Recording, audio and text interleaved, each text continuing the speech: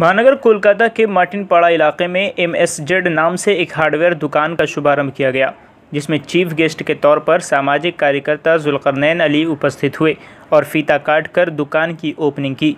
इस मौके पर इलाके के कई उलमाए किराम भी मौजूद थे। सभी ने दुकान की तरक्की और खैर की दुआएँ की। ये अच्छा काम है। हमारे जहीर भाई, दिन दिन और दुनिया दोनों लेके चल रहे हैं। और सबसे पहली बात है ये मुहर्रमुल हराम का आज एक तारीख है। हम लोगों को मुहर्रमुल हराम में क्या काम करना चाहिए? रोज़ा रखना चाहिए, नमाज़ पढ़ना चाहिए, कलाम पाक का तिलावत करना चाहिए, और जो भूखा है उसको दस दिन तक खाना खिलाना चाहिए, शरबत पिलाना चाहिए, पानी पिलाना चाहिए। मगर हम लोगों में कुछ ऐसे भी लोग हैं जो ये दस दिन नाच, ढोल गाना, बजाना, ताजिया, अखाड़ा और ये सब चीज़ों में मसलूब रहते हैं, मैं उनसे गुजारिश करूँगा कि अल्हम्दुलिल्लाह आप ऐसी काम न करें जिससे हमारा इस्लाम भी बदनाम हो और हम खुद को बदनाम हो। तो मुहर्रमुल हराम का जो महीना है, इसमें आप रोज़े रखें और जो हो सके, एक ही आदमी तो एक ही आदमी दो, इमाम हुसैन के नाम पे खाना खिला दीजिए, पानी पिला दीजिए, शरबत पिला दीजिए। तो ये सब चीज़ करनी चाहिए। मैं ख़ास करके तमाम मुसलमानों से ये अपील करेंगे कि खुदा के वास्ते नाच, गाना, ढोल, ताशा वगैरह न बजाएँ और दिन दिन से लगाव लगाएँ। तो बहुत अच्छी काम है जो जहीर भाई ने किए। हमारे इस दावत इस्लाम, इस्लामी भी चलाते हैं और सोशल एक्टिविटी भी मोहल्ले में करते रहते हैं।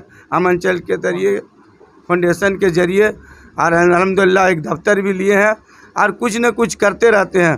तो ऐसे लोगों को साथ देना हमारा फ़र्ज़ है, उनके साथ खड़ा होना हमारा फ़र्ज़ है। अलहमदिल्ला रबालमीन वसलात वसलाम सैदमरसलिन अलहमदिल्ला अज़्ज़ वजल मुहर्रम की ये पहली तारीख उमर फ़ारूक आज़म रदी अल्लाह तु की सआदत का दिन भी है।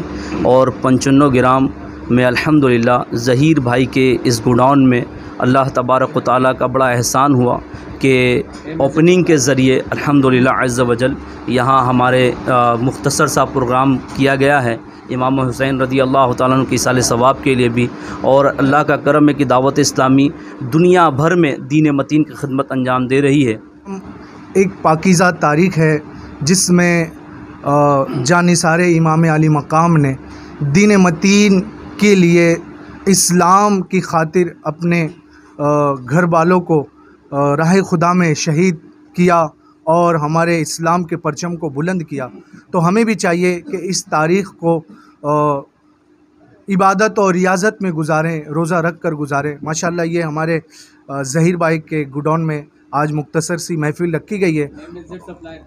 एम ए जेड सप्लाई दुकान है और माशाल्लाह हमारे जुनकर नैन भाई और उनके तमाम टीम तशरीफ़ लाए हैं।